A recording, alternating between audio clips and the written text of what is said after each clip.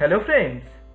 Superstar Salman Khan latest film Race 3 due to solid star power and Eid effect it has completed first week on a fantastic note at the domestic box office. Within the 7 days of release, the film has become the third highest grosser movie of the year so far in Hindi cinema. Directed by Remo D'Souza, Race 3 has received mixed reaction from the critics as well as the audience across the country. Alongside superstar Salman Khan, in the film also star Anil Kapoor, Jacqueline Fernandez, Bobby Dawal, Deshi Shah, and Shakib Saleem in lead roles. After the opening weekend, the total collection of the movie was recorded 106.47 crore at the domestic box office.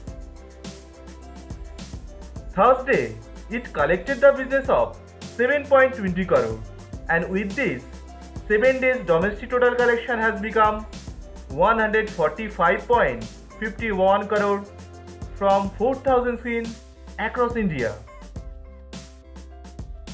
Today is the date of the film and it's a normal working day. The film expects to collect 6.40 crore to 7 crore at the domestic box office. Thank you so much friends. Subscribe our channel and press the bell icon for latest new updates.